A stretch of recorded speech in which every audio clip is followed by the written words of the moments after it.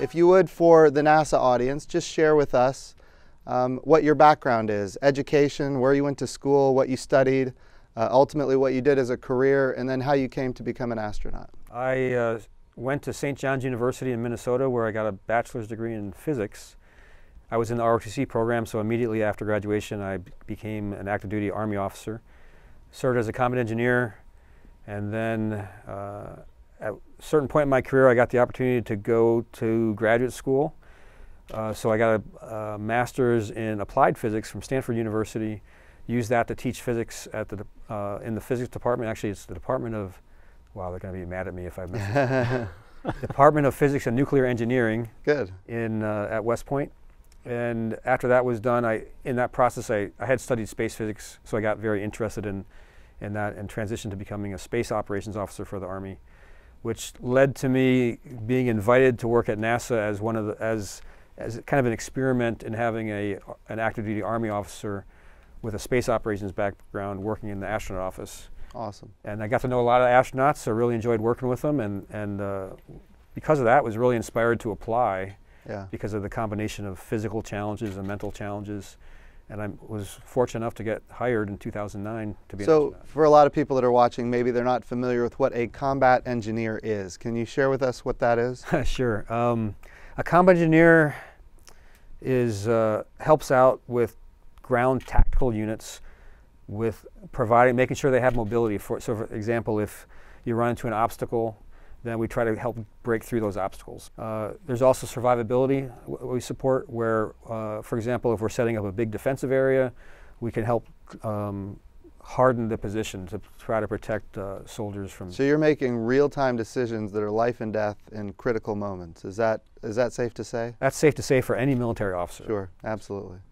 Awesome, Joe. Give us a little bit about your background, uh, education, where you went to school, and ultimately uh, your career, and then on to the, the astronaut corps. Sure. So I'm a Southern California kid and went to school, uh, University of California, Santa Barbara, then off to get a master's at the University of Arizona, both in geology. So I'm a, I'm a rock guy.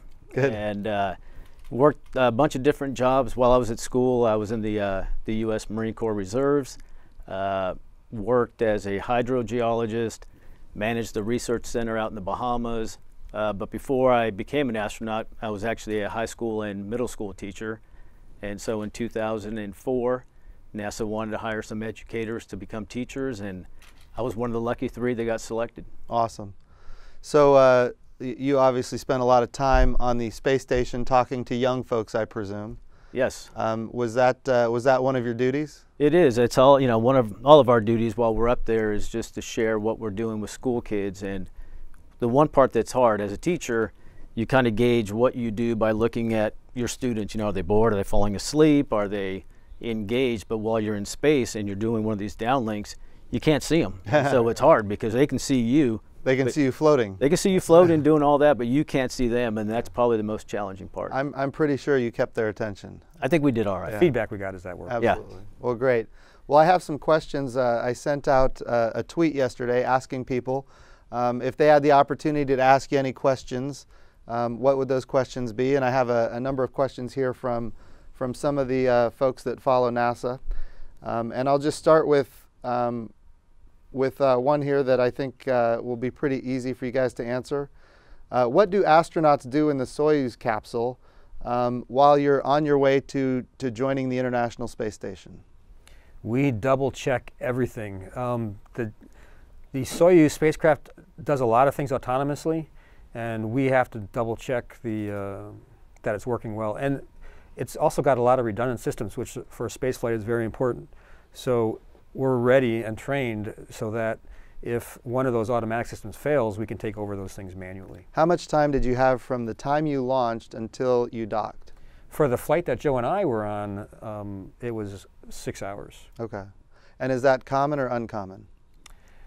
It, it, Sometimes it takes multiple days, right? Yeah. Yes. On my first flight with the Russians, it was a, uh, a two-day rendezvous. Okay. And so it all depends on the orbital dynamics. Where's the space station when you launch? So I think we enjoyed the six hours because the Soyuz is small, and you can imagine the three of us in that capsule for you know two days. It's a long time, so you're ready to get to the ISS. I can imagine.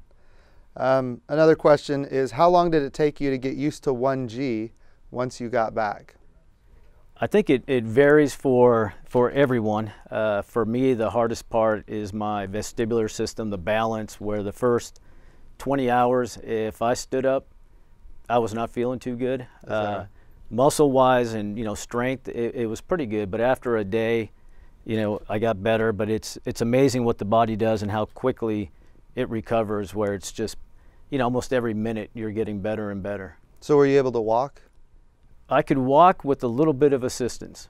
Okay. Yeah, Awesome. it's just, you know, you turn your head and you feel like you know the floor is moving. If you can imagine being on a boat all day, Sure. and when you get off the boat and you kind of stand there, you can still feel Yeah. kind of the waves underneath you. It's it's kind of like that, but just a little more extreme. Got it. How about you, Mark?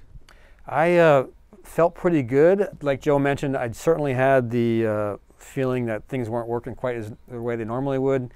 And uh, w- the biggest issue for me was a lot of soreness in the smaller muscles that help us balance. And uh, I, I could feel that. Even just sitting up in bed was hard. So what was your first meal when you got back? And how long did it take before you were ready to eat? I was ready to eat right away. Okay. Um, He's always ready to eat. Yeah, I'm always ready to eat. My uh, my mom might be mad at me if I said this is my first meal because it was chips and guacamole that Oh, I had good. on the plane. Well, I, you uh, deserved it. Thanks. It tasted good. it, oh, it was amazing. Yeah. Chips and guacamole. What was your first meal? So we had some, you know, small snacks on the uh, on the plane, but the meal I asked for when I got back, because I was not going home to mom's cooking right away, was to have some uh, local oxtail. It was it was tasty. Is that right? Oxtail. That's an interesting choice. Yeah. Fantastic. Okay, so another question. Uh, what is the least known fact about the ISS? And Mark, I'll let you go first. I'd say it's the uh, amount of science experiments we're doing. For Joe and I, we were up in, on the space station for 168 days, and in that time period, there was 284 roughly experiments that happened while we were there. So there's an incredible amount of science that's going on. A lot of it without us even having to interact with it. Awesome.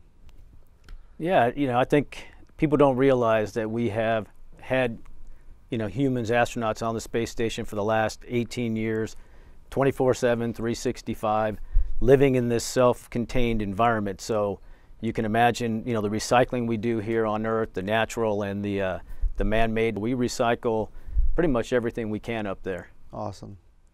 As far as space debris, I've got a question here. Uh, folks are interested in can you see it from space and, and what do you do about it? Do you want to start? Well, hopefully we won't see it. If it's big enough that we can see it, we'll try to go ahead and change the orbit of the space station. So people are tracking that for us, and we can actually do that. And it probably happens a few times a year that that we'll change the orbit for objects that are large. The uh, the smaller objects, we see evidence of that. If you go out and do a spacewalk, you might see a ding on a handrail. Uh, we have the cupola, which is the big window that we look out of, and you can see where that has been struck before. Luckily, it's a it's a strong window. it's a strong window, a little bit bigger, but it almost looks like it would look on your car when you get a little piece of rock that hits your window. Awesome. Did you see any space debris?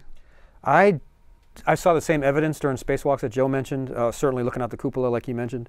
Um, one other thing, Paolo Nespoli, an, an Italian astronaut that was on board with us during the first half of our flight, he took a lot of pictures and captured uh, some natural space debris interacting with the atmosphere. He actually saw the debris only when it started burning up, and then you could see the flash of light as it finally uh, was completely burned up. And is that is that video still out there somewhere? I don't know if you It- got it out. I'd be surprised if it wasn't. It, but, it uh, is out there, and it's it's pretty cool to see.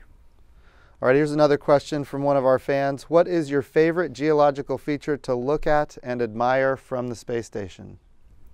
Well, yeah. So, yeah, as a geologist, you know, it's just you're in heaven because now you can see everything from a from a grand scale.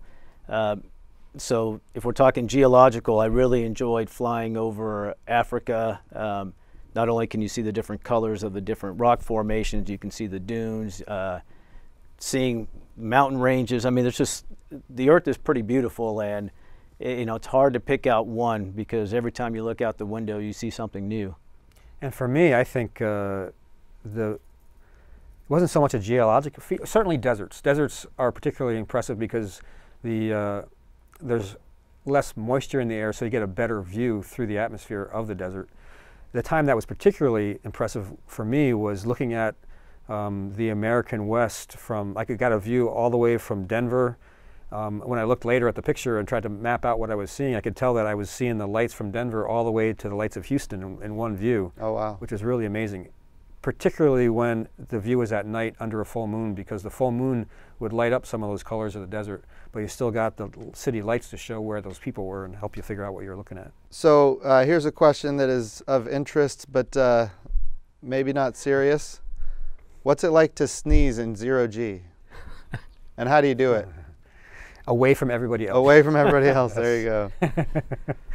Uh, is there? Um, I would imagine sanitation on the ISS is critically impo- important. Can you share some of your experiences with getting ready to go fly and then ultimately being on the ISS and some of those things? Um, we do go into quarantine a couple of weeks uh, before we launch to make sure we don't take anything up with us. And one of the great things about being up there is that you know once you get there, you're in a pretty good and sterile environment in terms of you know cold and the flu and so we missed the flu season while we were up there and but it takes a lot of work not only protecting us before we get there but we spend a lot of time cleaning up the space station as well There's weekly house cleaning on the space station, just like you would do at home. I can imagine. every saturday morning got to clean the space station Vacuuming and wiping down things. Um, Absolutely. Yeah, as a as a Navy guy myself, uh, being on a ship, critically important to keep everything as clean as possible because if one person gets sick, oh, everybody gets sick and it happens fast. I would imagine on the ISS, that's every bit as true whether there's three crew or 6 hmm So that's great. Um, uh, another question is uh, question and a number of these just launch. When you launch on a Soyuz, what's it like? What's the jolt like? Is it smooth? Is it harsh? What's it feel like when you launch on a Soyuz? Or do you even remember much of it? go for I it I definitely remember the launch. Um, we trained so much in a simulator that did a really good job of getting us used to that small space that because it was so smooth, I was a little disappointed that it wasn't going to give me a better story out of it. Because I, I had a little window over here, and certainly the view out that window was different from the simulator, but it was kind of hard to get it. And most of the time, it was just the blackness of space. So, uh, and the one thing that was very different was when we went from one stage of the rocket to the next stage, there would be a momentary s- stopping of that acceleration, which felt like a jolt forward. Sure. So that that was shocking as we changed it, but otherwise it was very very smooth. Yeah, until we got to the space station, and uh, it's a funny story. Mark And Oh, you're talking about my uh, yeah. as we were approaching. So we're, you know, you go through the whole launch sequence. You have a few hours, like Mark said, you're just checking out the systems, and then you start to approach the space station, and you get your first glimpse out the window of this beautiful, you know, laboratory that uh, that we've built. And then Mark, Which just happens to be at the same time as the commander who's looking at the space station through his periscope. It's a very intense time for him because we're approaching another spacecraft and he's got to be very ready to respond to a failure of the automatic system because he has to do it manually, possibly. So it's very intense for him and I'm trying to support him all the time. But I get this view of these massive solar arrays out the window and I was like, wow! He just looked at me and gave me yeah, the quiet so we were hot mic, so everybody could hear Yeah. everything we're saying, and I'm sure I was that, very excited. yeah, So how much do you sweat during all that? The suit, we're connected to a ventilation system. Oh, okay. So uh, if we're sweating a lot, it gets dried up as long as the suit system's working well. We've had a lot of simulators where we sweated yeah. a ton. Yeah, I, I think it's uh, it's a lot easier. I think real time. Uh, just the simulation. you've trained for so long and you're ready for it, and Yeah. you're pretty, pretty prepared.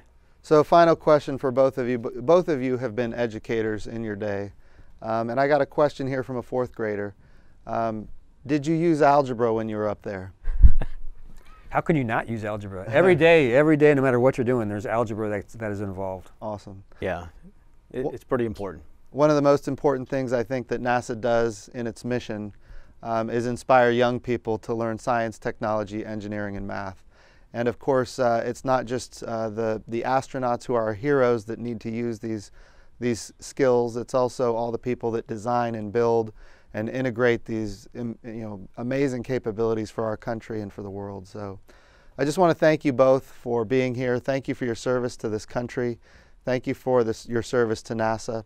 Uh, it's one of the best parts of my job is getting to sit down and, and talk with folks like you. Um, you're both great Americans. So, Mark Vande Hei and Joe Acaba, thank you for your service, and it's good to be with you. Thank you, Thank you, sir. sir. You bet.